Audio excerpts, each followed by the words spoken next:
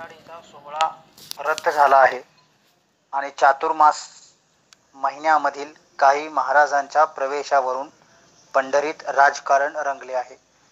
परंतु या सर्वापेक्षा पंढरपूरची सुरक्षितता महत्त्वाची आहे असा एक सूचक संदेश पालकमंत्री नामदार दत्तामामा भरणे यांनी आज झालेल्या प्रशासकीय बैठकीनंतर दिला.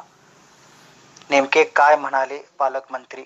वारकरी संप्रदायाने आपल्या प्रशासनास खूप सहकार्य केलेले आहे. सगळ्या पालख्या रद्द केल्या पायी वारी रद्द केली. तुम्ही पंढरपूरला दोन ते पाच हजार लोकांना बाहेरच्या आश्रय दिलाय प्रवेश दिलाय. आणि पाच पन्नास महाराज जे आहेत.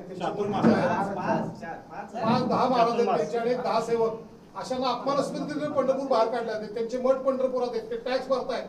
असं असताना चार पाच हजार लोकांना. आश्रय देणारे शासन. येणार नाही बाहेरच्या माणसाला. बाहेरची माणसं देतात, बाहेरची राहतात. बाहेरची ऐक ऐका हजार मला मला हे काही माहिती नाही. शहरातल्या एक शहरातल्या माणसं आहेत. नागरिकांनी इथं ऐका ना, इथं आमदार साहेब स- बोलतायत. शहरातल्या प्रांतसाहेब नगराध्यक्ष- शहरातल्या नागरिकांनी त्या ठिकाणी नाही नाही एक मिनिट मला बी अधिकार आहे बोलायचा. बोलू दे, बोलू. दे. मलाही बोलायचा अधिकार आहे. मला बोलायचा अधिकार आहे.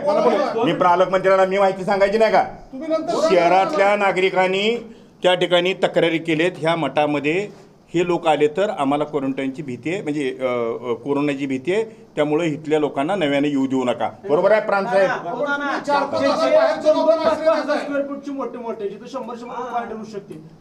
माणसं जर अगोदर आहेत. अगोदर लोक आहेत तिथं आता. हा. तुम्ही एक मिनिट तुमची तुम्ही सूचना आता मला मांडली. नानांनी पण नानांचं त्यांचं मत सांगितलं. नगराध्यक्षांनी ताईंनी पण मला त्यांचं मत सांगितलेलं आहे.